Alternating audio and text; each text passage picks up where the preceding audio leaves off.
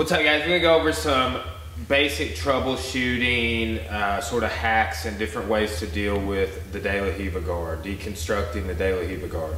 Uh, it can really hang, hang you up if you let people get going with their guard game on that position. And you need to have kind of some different ways, a little like checklists, order operations, things to, to uh, deal with, right? So, we'll start off here. Michael's, you know, he's sitting up, so this makes him uh, more formidable, right? And we're going to deal with different grips today, right? One is he's got the collar and he had the sleeve previously. Go ahead and grab back on that sleeve, right? If this is the case, I'm gonna try and clear this sleeve first and then go to there. And look, he defaulted to the ankle grip, which we're gonna go over several ways to deal with getting out of this ankle grip. Okay, so I call this a V grip. Boom. I put my thumb behind these two knuckles here and then in front of the two knuckles on the other hand. So when he's here, I don't want him to pull me uh, on a horizontal plane way, so I need to have a good base, and that, that deals with that. If he has just my sleeve, this is a common grip people play when they want to do back takes and different things. Just putting my palm here and sliding out. Okay, now I can go outside or inside and just almost like a, a wrist lock sort of grip, right? I can just strip or I can go inside and strip. Now let's say he has uh, he has a really good De La Riva hook here. All right, you're gonna have to deal with that as well. So running, running down the list here, strip, I like to lean back. That lessened his hook. Now I can go to some sort of a position where I like to pass from, which is right here. I've got a lot of passes I like to do.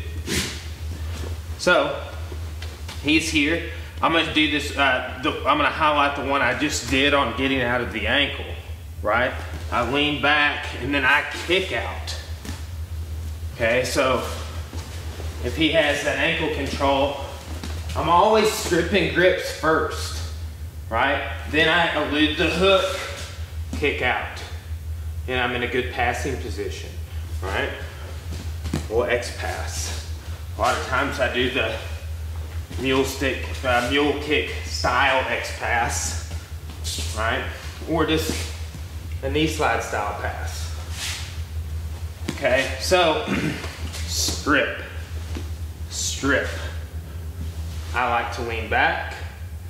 A lot of people like to press forward. That's fine too. Okay? One other way to deal with the ankle grip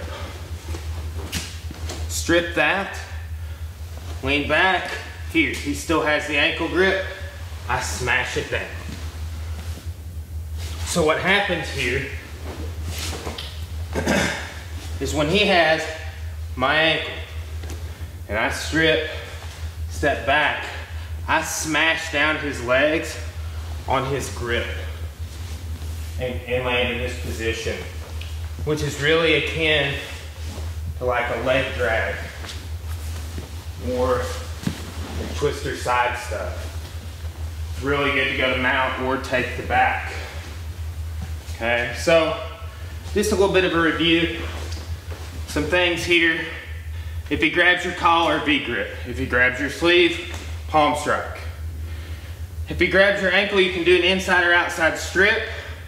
Right? If you have either leaned back or pressed forward to deal with the hook. You can strip or you could kick the ball. Right? You just turn and kick out when he grabs that ankle control. Right? So that's a, a really good sort of order operations. Deal with the grip, deal with the hook. Right? You could choose to deal with the ankle at that point, then deal with the hook, and then do your favorite pass. Right? So that's a good way to kind of look at deconstructing the De La Riva guard. Okay, thanks.